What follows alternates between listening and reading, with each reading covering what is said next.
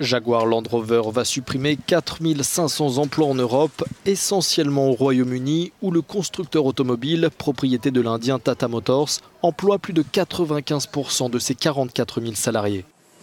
Jaguar Land Rover doit notamment faire face à la chute des ventes en Chine, mais pas que.